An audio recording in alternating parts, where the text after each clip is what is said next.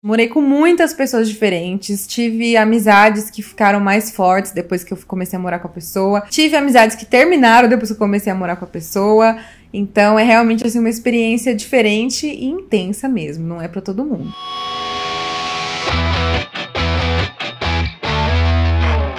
Tem uma querida que ela tá fazendo o TCC dela sobre mim. Na verdade, não sobre mim, né? Sobre o meu trabalho na internet e tal, que envolve bastante da minha personalidade. Eu acho que uma coisa que faz parte do meu trabalho é eu conseguir colocar minha personalidade nas coisas que eu faço, nas coisas que eu produzo para vocês. Até por isso que eu acho que eu sou taxada como perdido no personagem muitas vezes, né? E essa mini querida que tá fazendo esse TCC, ela pediu para que eu postasse nos stories uma pesquisa para conhecer melhor o meu público. Eu já fiz pesquisas outras vezes e tal, mas assim, já fazia muitos anos que eu não fazia. E vocês vão mudando, né, com o passar do tempo, vai chegando gente nova, ou então as mesmas pessoas, elas vão mudando mesmo, né, vão fazendo coisas diferentes, tendo gostos diferentes, lidando com a internet de formas diferentes. Então é sempre legal, né, fazer esse tipo de coisa para conhecer vocês melhor. Mas, como eu disse, fazia um tempo que eu não fazia isso, e aí acabou que ela fez por mim. Eu postei o link esses dias, e aí agora eu tava vendo o resultado resultado da pesquisa. E uma coisa que eu achei muito curiosa é que boa parte das pessoas que me acompanham tá na faculdade, ou então acabou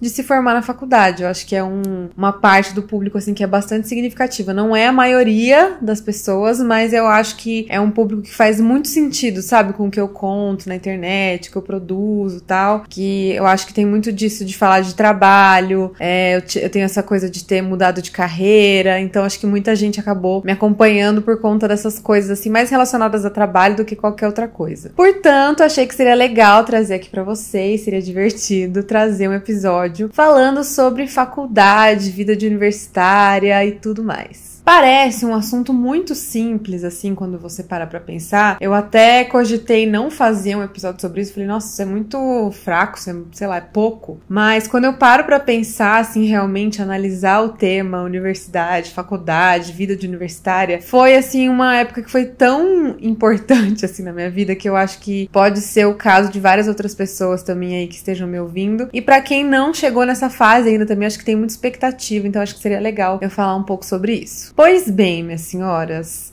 eu, por incrível que pareça, apesar de eu ser perdido no personagem, desde sempre eu meio que sabia qual faculdade eu queria fazer. Não desde sempre, vai, mas assim, eu lembro que antes da maioria das minhas amigas, dos meus amigos da escola, eu já tava bem tranquila com relação ao que eu tinha escolhido para fazer da minha vida. Até mais ou menos ali a oitava série, oitavo ano, sei lá como que se fala hoje em dia, quando eu tinha uns 14 anos. Antes disso, eu ainda tinha um pouco de dúvida se eu ia fazer moda, se eu ia fazer, sei lá, desenho. Sei, é tipo, era muito difícil porque não tinha faculdade de desenho, né? Tinha design.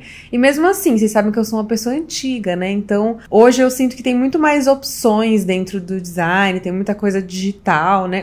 muito velha falando, tem muita coisa digital. Mas é meio isso mesmo. Então, quando eu, eu ia pesquisar sobre faculdade de design, na época era tipo design gráfico que tinha, assim, que eu me lembro. E não parecia muito legal, sabe? Então, não sei. E mesmo a ideia de fazer moda era uma coisa que não partia de mim. Eram as pessoas ao meu redor que viam que eu gostava de desenhar minhas menininhas lá, que eu me preocupava com a roupinha delas, com o cabelinho delas, o estilo delas. E todo mundo falava, ai, que legal, você deve fazer moda, você ia gostar. Então, assim, eu falava que eu ia fazer moda, mas eu nem sabia direito o que, que era, exatamente o que, que ia acontecer com a minha vida se eu fizesse moda e tal. Mas quando eu tinha mais ou menos uns 14 anos, rolavam várias dessas palestras de faculdades ali na minha cidade. E aí eu comecei em várias, que aí tinha sempre assim uma pessoa que era da faculdade, aliás, do curso de publicidade da faculdade tal, a outra que era do curso de moda da faculdade tal. E eu posso dizer para vocês hoje que eu fui convencida pelo diretor da faculdade que eu fiz, que ele foi dar uma palestra sobre publicidade e assim, o curso em si, eu não entendi muito bem o que que era, mas ele era muito engraçado, muito carismático, muito criativo, assim, fazia, falava várias coisas divertidas. E eu falei, não, acho que eu quero ser igual esse cara, sei lá o que passou na minha cabeça. Mas eu lembro que foi isso. No, na oitava série, quando eu tinha uns 14 anos, quase 15, eu falei, ah, eu vou fazer publicidade, é isso aí. Aí depois, com o tempo, eu tive a ideia de pesquisar a grade horária, sabe? Quais eram as áreas das faculdades que eu tinha vontade de fazer. E aí eu vi que publicidade realmente tinha tudo a ver, porque tinha aula de redação, aula de fotografia, aula de, sei lá, agora eu nem lembro o que mais que, que era. Mas eram várias coisas pelas quais eu me interessava, porque eu tive um, uma certa dúvida, assim, né? Apesar de eu ter decidido cedo. A minha dúvida era porque eu gostava de fazer várias coisas, né? Como eu gosto até hoje. Então eu tenho até fases diferentes do meu trabalho na internet, meio que fazendo como é que eu vou dizer? Tendo a mesma profissão, só que fazendo coisas diferentes. Então eu surgi na internet escrevendo. Eu escrevi web novelas, gente. Talvez a gente tenha um episódio sobre isso. Vou pensar no caso de vocês. Aí eu tive mais a fase ali de, de desenho, de ensinar a desenhar. E aí depois, dentro do desenho, tive várias fases também, como eu disse. Teve desenho autoral, teve época que eu ensinei a desenhar, lancei curso, tive, né, várias. Fiz várias coisas ali dentro do mundo da ilustração e do desenho. Hoje eu sinto que eu tô mais voltada pra direção de arte, vídeo, para direção de vídeo, roteiro, que eu gosto bastante. E assim eu vou mudando, fazendo, fazendo várias das coisas que eu gosto. Mas na época não se tinha muito esse pensamento, né? E eu lembro que, inclusive, eu mesma pensava sobre isso. Falava, gente, eu queria ter uma profissão que eu pudesse realmente fazer várias coisas. Aí, decidido o curso que eu queria fazer, eu comecei a pesquisar em qual faculdade eu queria fazer. Eu sou desse nível, assim, de ansiosa. E tenho essa necessidade de planejar e programar a minha vida. Nem sempre as coisas acontecem como planejado, mas eu me divirto fazendo isso, sabe? Parece que me dá uma. Eu sei que é uma coisa que é meio ansiosa, mas por incrível que pareça, me dá um certo, uma, uma certa calma no presente pensar que o meu futuro tá minimamente planejado, sabe? Por mais que eu saiba que não vai sair exatamente como eu tô imaginando. E não saiu. Decidido o curso, eu fui pesquisar em qual faculdade eu ia estudar e na época, eu não sei se existe isso ainda, tinha um negócio que chamava Guia do Estudante, que era tipo um, uns livros, umas revistas, eu acho, que hoje deve ser tudo, né, tipo em rede social, em site, essas coisas. Mas na época era uma revistinha que a galera ia passando assim na sala, e aí tinha teste vocacional, tinha várias coisinhas assim, e tinha uma parte lá que contava quais eram as faculdades que tinham os melhores cursos em cada área, sabe? Aí onde fica o melhor curso de design, qual faculdade tem o melhor curso de publicidade publicidade, etc. Então, como eu queria fazer publicidade, eu vi qual era a melhor faculdade de publicidade naquele momento. Era uma faculdade particular. Perguntei pros meus pais se tudo bem. Eles falaram que tudo bem. E aí eu falei, pronto. É isso aí. Não preciso mais me preocupar com essa, com essa parte da minha vida. E uma coisa curiosa sobre essa faculdade que eu fiz era que no vestibular não tinha biologia, física, química. Acho que era isso. Não tinha biologia, nem física, nem química. Então, vocês imaginam, eu já não gostava muito dessas matérias, né? Quando eu vi que no vestibular não ia cair isso, gente, juro por Deus. Eu fazia o mínimo para passar de ano e não fazia mais nada, porque eu não entendo. Até hoje eu não entendo, não, não, não, vejo sentido, achava horrível, a professora era insuportável, ela não gostava muito de mim também. Eu tive até um caso muito tenso nessa época, que, como vocês podem imaginar, eu era a pessoa que ficava desenhando na sala de aula. Sempre tem, né, aquela pessoa esquisita na sala que é a que fica desenhando na aula. E era o que eu ficava fazendo. E eu, modéstia à parte, fazia algumas coisas muito legais legais, muito divertidas e criativas. E eu lembro que uma época eu escrevi uma história em quadrinho que eu nem sei direito o que era, mas tinha uma parte ali que se passava numa escola. E aí, era como era uma coisa meio sarcástica, tal, engraçada, tinha um momento na história em quadrinho que a pessoa, eu não lembro se era, devia ser uma menina, né? Tinha sido mandada pra diretoria. E quando ela chegava na diretoria, tinham vários objetos de tortura na sala da diretora. Gente, é óbvio que, tipo, né, era uma coisa exagerada para ficar engraçado e tal. Mas eu, inocente que fui, fiquei desenhando essa história em quadrinho na aula, na aula de química da professora. E a Mona pegou meu desenho, muito brava, já tava brava por eu estar desenhando. Quando ela viu a história em quadrinho que tinha objeto de tortura na sala da diretora, gente, minha vida virou o caos. Ela me mandou pra sala da diretoria, aos berros, tipo assim, eu fui humilhada na sala, que ela pegou, começou a gritar, tal, aí me mandou lá pra sala da diretora, a diretora também tava completamente louca depois que ela viu a história em quadrinho. Nem sei se devia falar isso aqui, mas vou falar, sei lá quem é ela hoje em dia. Ela ficou tão brava, a diretora, que ela falou que se ela tivesse objetos de tortura na sala dela, ela ia usar comigo naquela hora. Vocês têm noção disso?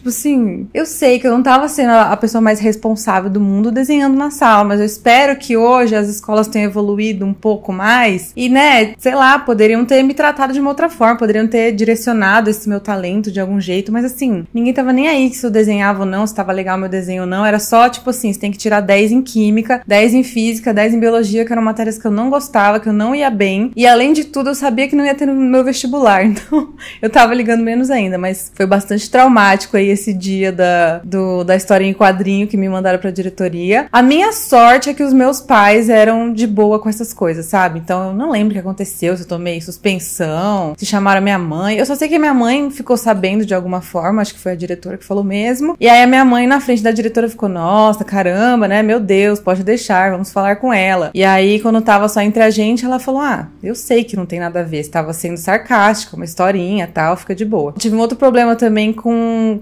câmera digital, que era a época da Cybershot, eu era amiga das fotos, e aí eu levava minha câmera pra escola. E aí eu lembro que eu estava com a câmera no intervalo da aula, e aí viram que eu tava com câmera, e aí veio alguém lá da escola, nem sei quem que era, se era segurança, se era a tia da cantina, não sei quem que era. Pegaram minha câmera também, fiquei uma semana sem a câmera lá, ficou na diretoria, minha mãe teve que ir lá buscar. Gente, juro. Umas coisas que hoje em dia, tipo, na época eu fiquei com muita raiva, eu tenho um pouco de raiva até hoje, porque, sério, não era, não era pra ser nada demais, né? Tipo, tanto que eu trabalho com isso hoje. Eu gostaria, inclusive, que tivesse sido incentivado. Talvez coisas que eu tive que aprender depois de muitos anos eu poderia ter aprendido naquela época já. Enfim, tanto faz. Acabou que deu tudo certo, mas achei que seria também interessante trazer um pouco dessa época de escola pra cá. Bom, dito e feito, passei no vestibular, assim, com gosto, porque eu lembro que a redação era o que valia mais nesse vestibular que eu fiz. E eu, né, modéstia à parte, sempre arrasei para escrever. Minha redação foi muito boa, eu passei com 9, 10, sei lá, e entrei na faculdade. Mas minha faculdade, monas, era em São Paulo, capital, que assim, eu tinha essa fixação da garota do interior que quer morar em São Paulo, que acha que todos os problemas vão se resolver quando mudar para São Paulo, porque São Paulo é onde tudo acontece, tudo é melhor, todas as pessoas são mais legais e nada faria mais sentido se eu continuasse no interior. Eu fiquei ainda uns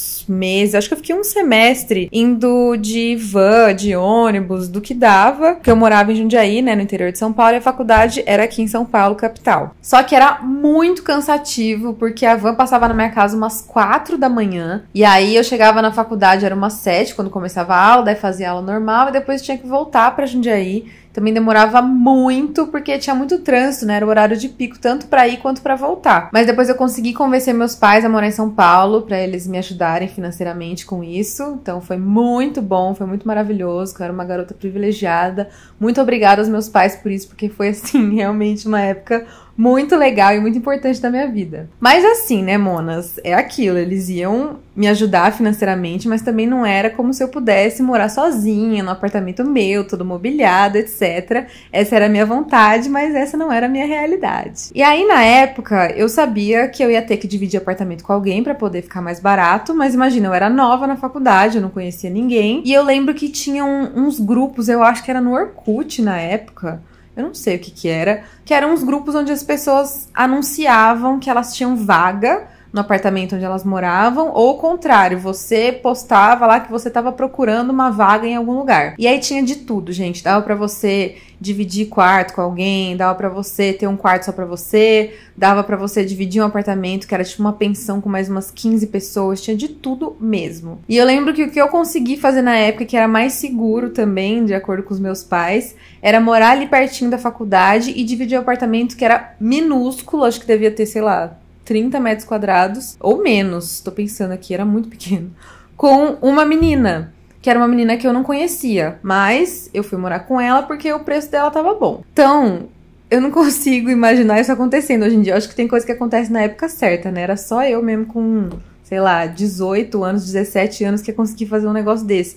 Eu fui morar com uma pessoa que eu nunca tinha visto na minha vida. Não é que a gente conversou antes, fez, né, uma mini entrevista, não. O primeiro dia em que eu pisei no apartamento foi para morar lá, então foi nesse dia que eu vi a menina também. E aí eu lembro que ela tinha deixado a chave para mim na portaria, eu entrei, ela não tava lá, e eu lembro assim de entrar no apartamento e parecia que eu tava vivendo um filme. Eu falei, meu Deus, eu moro em São Paulo, que incrível, socorro, agora minha vida vai fazer sentido, vai ser maravilhoso e tal. E era um apartamento que ele tava todo mobiliado, porque não, né, tipo, não, não tinha o budget para comprar coisas, então eu precisava de um que já tivesse os móveis também. Aí passou um pouquinho, acho que ela chegou no apartamento à tarde, ela entrou, tal, me cumprimentou e aí foi isso. E eu comecei a imaginar, nossa, porque nós vamos ser grandes amigas, e a gente vai ser madrinha de casamento uma da outra, e a gente vai ser tudo e vai ser incrível.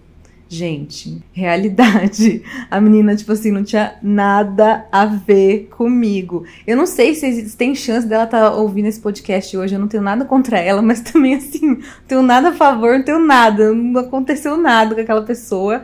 A gente morou juntas uns seis meses. E eu não sei se tinha alguma questão comigo, se tinha alguma questão com ela. A gente simplesmente não, não interagia. Era uma coisa muito estranha. Quando a gente conversava, era uma coisa meio. Eu não sei explicar. Sabe? Parece que tem gente que não tem muito tato social, sabe? A pessoa parece que ri na hora errada. Ou, não sei, ou talvez eu que fazia isso e ela me achava. Eu não sei. O negócio não deu certo. E aí rolavam umas coisas assim. Tipo, ela não gostava de alguma coisa que eu fazia. Porque imagina, eu tava morando pela primeira vez com alguém, né? Tava morando pela primeira vez fora da minha casa. Então é normal normal. Eu acho que eu não fazia tudo perfeito, devia deixar louça às vezes, devia fazer barulho às vezes, eu não sei. Com o tempo você vai aprendendo essas regras sobre morar com outras pessoas. Mas eu sei que quando acontecia alguma coisa que ela não gostava, ela ligava pra mãe dela, que pedia para ligar pra minha mãe pra minha mãe falar comigo. E ela tava no quarto do lado. E eu ficava assim, gente, que isso? Um filme? Que, né? No começo parecia um filme agora tava parecendo um filme de novo, mas não de um jeito bom. Até que um dia minha mãe perdeu a paciência e falou: Olha, quando a sua filha quiser falar alguma coisa com a minha filha, ela vai lá e fala, bate na porta do quarto e fala alguma coisa com ela, né? Não tem que me ligar, ela não mora mais aqui. Gente, minha mãe é, o bagulho é louco. E aí foi isso, eu morei um tempo com essa menina e depois eu comecei a conhecer mais as pessoas da faculdade e tal, e aí consegui, né, escolher um lugar que tivesse mais a ver comigo. Mas mesmo assim, eu fui morar com pessoas que eu não conhecia, assim, super profundamente. O que aconteceu foi que tinha uma amiga minha em comum que ela conhecia uma menina que morava num apartamento que era bem maior, esse tinha três quartos. Era mais perto da faculdade ainda e ele era mais barato, porque ele era um apartamento mais podre, sabe? Tipo, ele era mais velho, assim e tal. E esse era bem república, gente, bem república de faculdade. Tipo, aqueles carpete tudo manchado de cigarro, a casa cheirava cigarro, assim, na verdade, como um todo é, não tinha muitos móveis, os móveis era aquela coisa assim, tipo, nada combinava com nada. Mas tava ótimo, tava maravilhoso. Mas eu lembro que para morar nesse apartamento eu passei por uma entrevista, tá? Isso acontecia na época também. Porque tinham alguns apartamentos que eram meio que mais famosos, assim, sabe? Da galera. Tipo, ah, tem a, o AP das meninas do, da, do curso tal, tem o AP da fulana que é da bateria, tem o AP da não sei o quê. Aliás, não era o AP das pessoas mesmo, né? Ninguém era proprietário dos apartamentos, porque, né, todo mundo universitário. Mas era, sei lá, a pessoa que estava morando lá há mais tempo, ou a pessoa que tomava frente de alugar, né, as coisas de ajudar no aluguel, enfim. E aí eu lembro que eu fui fazer uma entrevista e foi muito divertido, que eu lembro que eu entrei assim no, no apartamento, aí tinha uma, uma menina que era que foi morar comigo depois, sentadinha assim no sofá, o sofá todo cagado, todo destruído. Só que ela era muito arrumadinha, assim, ela tava com uma roupa toda arrumadinha e tal, e com um caderninho que eu acho que ela tava anotando as coisas. Eu não sei, eu acho que ela também tava numa de, tipo assim, ah, estou vivendo um filme, vamos encenar isso aqui, né? E aí eu cheguei lá, ela perguntou umas coisas assim, gente, sei lá, é meu signo, sabe? Tipo, não fez o menor sentido. As perguntas era só pra ver se a, se a vibe batia mesmo. E aí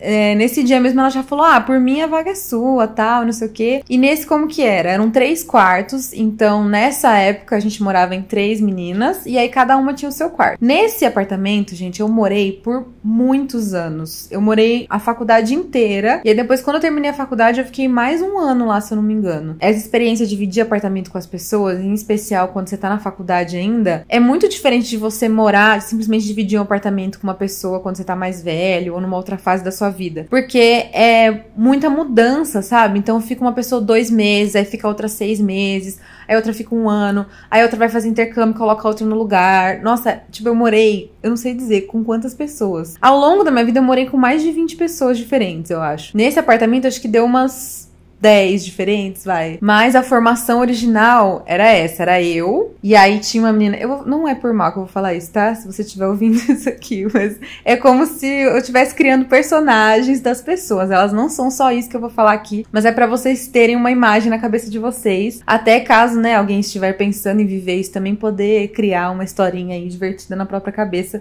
de como acha que vai ser. Então tinha eu, e aí tinha uma menina que ela era muito rica, tipo, era muito rica. Eu sinto que ela tava fazendo um experimento morando ali, porque ela não precisava, tipo, de jeito nenhum. E tinha a outra menina, que era uma menina que era vegetariana, super extrovertida, da bateria, do CA, da Atlética, jogava todos os esportes, e era amiga de todo mundo, e etc.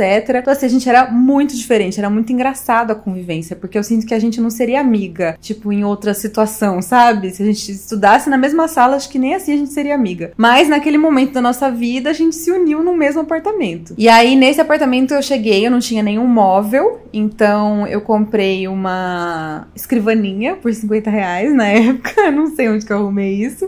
E meus pais me deram uma cama box, que todo mundo me zoava que era muito dura, mas eu gostava dela, sei lá, achava boa, apesar dela ser dura. E aí no meu quarto já tinha armário, né? Tipo guarda-roupa, essas coisas e tal. E aí alguns momentos assim curiosos dessa época, né? Teve uma época que uma das meninas ela saiu porque ela foi fazer um intercâmbio na Itália. Daí ela colocou uma outra menina no lugar dela que ia ficar uns seis meses mais ou menos. E essa menina, gente, ela era mais velha que eu. E eu lembro que ela era tipo assim a minha inspiração de tudo. Juro, eu fiquei obcecada por ela. Eu achava ela linda e ela sabia desenhar e ela era diretora de arte numa agência e eu era tipo um, uma, sei lá, não era nada, né? Eu tava pegando DP na faculdade ainda. Não conseguia arrumar um estágio.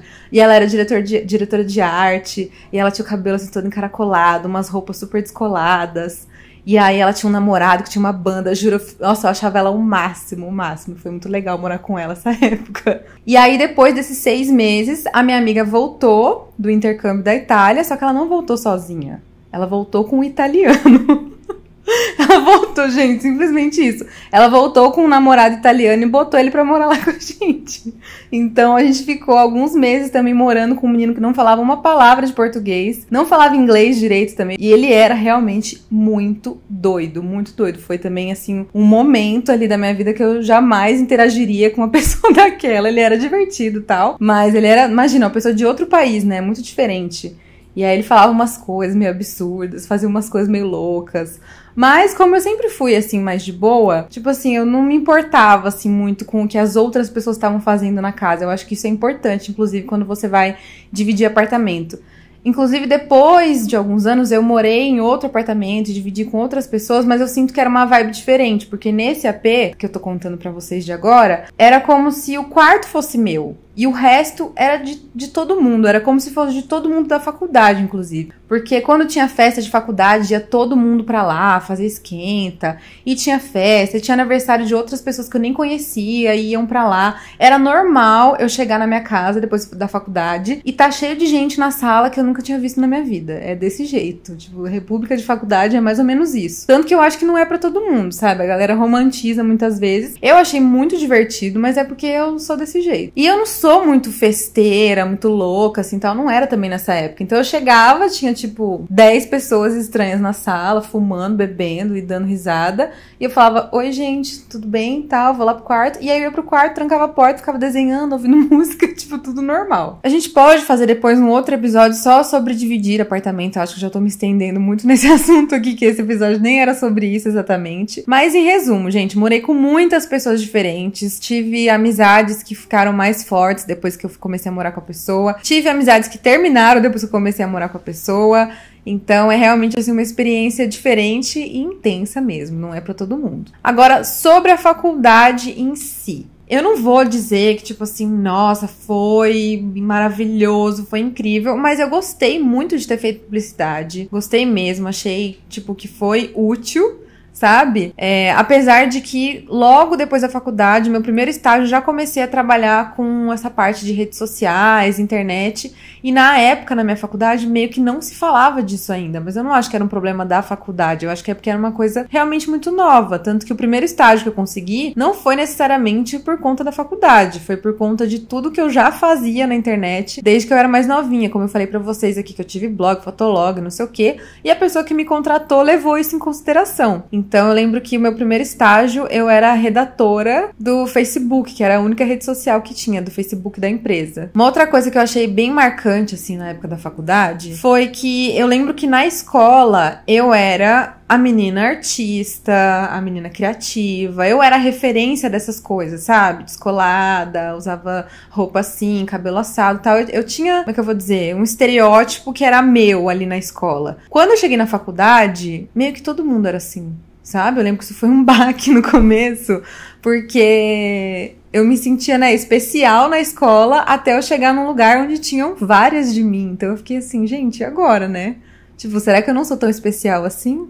Spoiler, não, eu não era tão especial assim. Uma outra coisa que foi muito curiosa, assim, na época, era que eu era uma garota do interior, né? Indo estudar na cidade grande. E essa faculdade que eu fiz, aí eu vou falar, gente, não falei até agora a faculdade, né? Eu fiz SPM aqui em São Paulo. Eu acho que até hoje é a melhor, assim, né, de publicidade, não sei, na época era. E na SPM tinha uma coisa muito curiosa também, que era o seguinte: era uma faculdade muito cara, hoje deve ser um absurdo, inclusive, de caro, na época já era. Agradeço novamente meus pais por tudo. E existia uma grande bolha ali, que era tipo da galera de escola particular de São Paulo, que já tinha estudado junto na escola, e aí agora tava fazendo a mesma faculdade. Então meio que um monte de gente já se conhecia. Eu lembro de não ter vivido muito essa coisa de você chegar num lugar e aí ninguém se conhece, que era essa fantasia que eu tinha de faculdade, sabe? Que eu ia chegar num lugar onde eu ia fazer só as coisas que eu gostava, que as pessoas iam me entender, diferente da escola, que eu corria o risco de ir pra diretoria e ser torturada, aquelas. É, não ia ter isso de alguém pegar a minha câmera, que eu não ia poder usar a minha câmera na, na faculdade. E ao mesmo tempo ia ter um monte de gente, sabe, que não se conhece, tá todo mundo ali se descobrindo, oi e tal, meu nome é Nath, não sei o quê. Só que não, eu percebi que no primeiro dia meio que todo mundo se conhecia, menos eu, assim. Não só menos eu, né, mas sei lá,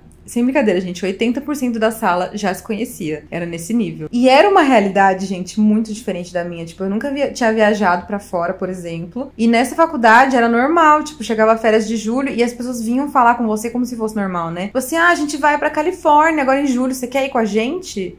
E eu ficava assim, gente, eu não consigo ir pra, pro Guarujá agora, tipo. E aí eu meio que eu disfarçava, né? Eu falava, ai, ah, vou ver com a minha mãe e tal. Tipo, eu nem perguntava, porque, né? Não ia rolar. Então eu lembro que no começo eu tive uma certa dificuldade para fazer amizade e tal, porque quase que não tinha assunto com as pessoas, sabe? Eu me sentia um pouco inferiorizada até, né? E eu lembro que teve até um dia muito específico que eu abri meu, levei o meu laptop e tal, abri ele na aula. E aí tinha uns meninos que estavam do lado, assim, e eles comentaram, tipo, como meu computador era cagado, velho velho, qualquer coisa assim. Eu nem lembro o que, eles falaram exatamente. Eles não falaram para mim, então não foi uma coisa tipo, ah, vamos zoar, que engraçado. Eles falaram entre eles alto, tipo, não sei se eles não ligavam que eu ouvisse ou se era pra eu ouvir, sabe? Depois acabou que ao longo dos anos eu descobri que esses dois meninos eram muito zoados mesmo, muito babacas, eles fizeram várias coisas zoadas assim. Existe esse tipo de pessoa no mundo. É, então eu lembro que na faculdade eu descobri que existia gente muito rica e existia gente muito babaca também.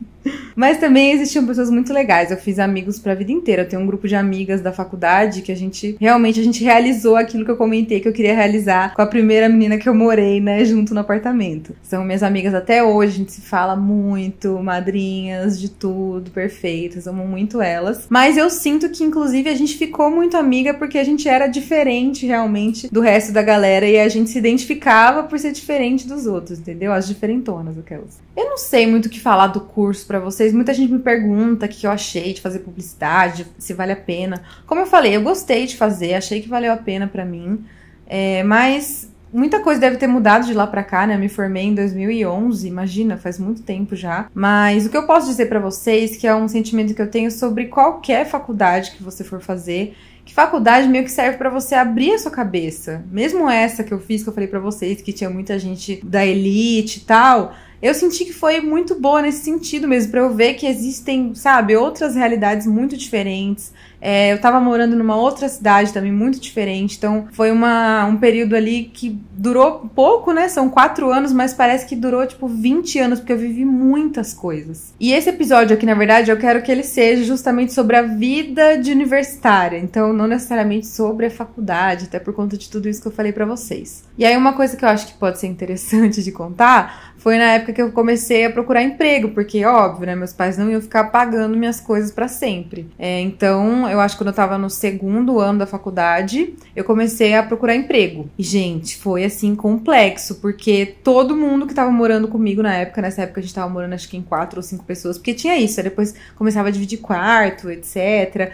Ficava meio difícil para pagar, daí vinha mais alguém para ajudar no aluguel, era desse jeito. Só que todo mundo que tava morando comigo tinha conseguido arrumar estágio, menos eu. Juro, demorei muito. Eu não sei o que acontecia. Bom, na verdade, eu, eu meio que sei, né? Eu não, não gostava muito de dar entrevista. eu achava meio. Falava, gente, só me contrata, sabe? Olha meu portfólio, eu não quero ficar falando. Mas, né, enfim. Eu odiava muito fazer dinâmica de grupo. Eu não sei se isso existe ainda. Nossa, juro. Tanto que quando era dinâmica do, de grupo, eu preferia não ir. Era nesse nível, porque até hoje eu acho uma coisa muito bizarra. Você fica disputando com a pessoa que tá do seu lado, sabe? Muitas vezes você tem que fazer alguma atividade que aquela pessoa vai ser sua dupla, né? Ou vai fazer parte do seu time para você defender uma ideia ali. Mas entre vocês, vocês sabem que vocês estão competindo, na verdade, uma com a outra. E eu não gosto, gente. Eu odeio essas coisas. Então eu me esforçava o mínimo. Porque eu não queria deixar ninguém se sentindo mal. Porque Nossa, era horrível. E eu pegava antipatia por todo mundo que tava se esforçando para fazer o negócio direito. Então, nossa, não rolava para mim. Entrevistas, assim, tiveram algumas que eu sabe? Eu tinha muita vontade de passar, ficava mais animada na entrevista, que aí sempre era tipo uma empresa menor, era uma pessoa só me entrevistando, tal. Mas enfim, acabava que nunca rolava, demorou muito para arrumar meu primeiro estágio. E eu lembro, na verdade, que a primeira entrevista que eu fiz, ela foi a mais traumática de todas, que eu vou contar para vocês agora. Era numa agência de publicidade. Eu lembro que na época eu queria trabalhar como diretora de arte no futuro. Então eu tava me aplicando para estágios nesse sentido, sabe? Estagiária de arte, estagiária de criação, estagiária de não sei o quê. E aí tinha uma agência que na época ficava na Augusta. Não sei o que acontecia nessa época, que tinham várias agências ali naquela região, sabe? Na Augusta, não do lado dos jardins, do outro lado. Que por acaso também era o lado que era onde eu ia nos rolês e tal, de final de semana, ali no vitrine, no não sei o que. Quem, quem viveu sabe, né? Na Alts, na Fan House, Socorro. A Fan House não era exatamente na Augusta, mas enfim. Era uma região ali descolada. E aí, eu não queria chegar toda cagada, toda suada, eu decidi ir de táxi. Não existia Uber ainda na época. E aí eu lembro que eu tive que economizar alguma coisa durante a semana para poder ir de táxi na entrevista. E foi a melhor coisa que eu fiz. Estava eu, então, no táxi, conversando com o taxista, tá? Um senhorzinho puxando assunto comigo. E é isso que eu contei para ele que eu tava indo fazer minha primeira entrevista de emprego. Dele, nossa, que bacana, tal, que legal, boa sorte. O que você faz de faculdade, né? Eu fui contando, ah, eu faço publicidade, eu tô indo fazer entrevista numa agência, é, eu gosto de desenhar, de tirar foto, tô muito animada, tô muito nervosa também, enfim. E a gente foi descendo Augusta. Eu dei um número para ele que era tipo 3 mil e alguma coisa. E foi descendo Augusta, foi descendo Augusta. E eu lembro que nessa época, como ainda tem um pouco, eu tinha muito medo de táxi, dessas coisas, sabe? Acho que é normal na vida da mulher, né? E só que esse senhorzinho tava sendo super simpático comigo, então eu tava tranquilo. Só que conforme foi descendo a rua, eu percebi que ele foi ficando meio quieto, assim, sabe? Parecia que tava meio nervoso. E aí eu comecei a ficar nervosa. Eu falei, gente, o que, que esse cara tá agindo meio estranho, né? Mas tudo bem, ele foi descendo, descendo Augusta, descendo Augusta. E aí ele foi e parou na frente do número 3000 e tal, não sei o que. E aí era uma paredona preta, assim, com uma porta vermelha, bem cara de agência mesmo, publicidade. Aí parou ali, aí ele estacionou o carro tal. E aí, tipo, não, não falava nada comigo. E eu assim, gente, o que vai acontecer aqui? Aí ele virou para trás, assim, bem lentamente, o pescoço, parecendo a menina do exorcista. Falou, moça, você falou que você ia fazer entrevista de quê mesmo?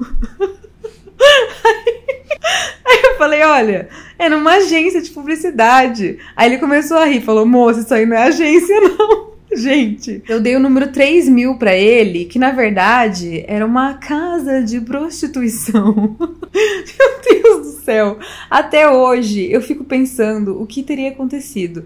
Bom, enfim, o número eu dei errado. Eu acho que eu falei tipo 3.080 e era 380. Então, foi por isso que eu fui parar lá no Baixo Augusta, na porta desse local. E aí, de verdade, isso já faz muitos anos e até hoje eu fico pensando o que teria acontecido. Porque eu era uma né, universitária, tal, uma garota jovem, tava super arrumada. Eu ia entrar lá e ia falar que eu queria, que eu tinha ido para fazer uma entrevista. E eu acho que as pessoas iam me entrevistar, porque, tipo, o que, que poderia acontecer, né? Socorro, eu sei que ele me salvou nesse dia. A gente ficou um tempão procurando onde que era a tal da agência.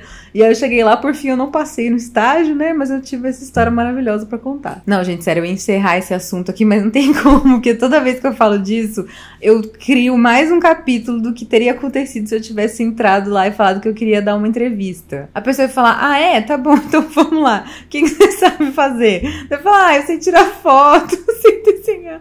Socorro, gente, eu me livrei dessa, juro. E bom, gente, esse é meu modus operandi, né? Eu pego situações traumáticas e faço piada delas para vocês rirem junto comigo da minha própria cara. A gente vai encerrar por aqui, acho que tá bom, né, de me expor por hoje, expor outras pessoas que moraram comigo. Desculpa aí, gente, ninguém mandou morar comigo, né? Fazer o quê? Então não esquece de avaliar esse episódio, se você estiver ouvindo por algum aplicativo de áudio que tem essa opção de classificar, coloca aí, né, cinco estrelas para nós. Acho que valeu esse episódio aqui. Deixa seu comentário também, principalmente se você estiver vendo pelo YouTube no videocast se inscreve no canal, se inscreve aqui no, no aplicativo de áudio, nem sei se dá para se inscrever, sei lá o que eu tô fazendo. É isso, gente, um beijo, até o próximo episódio e tchau!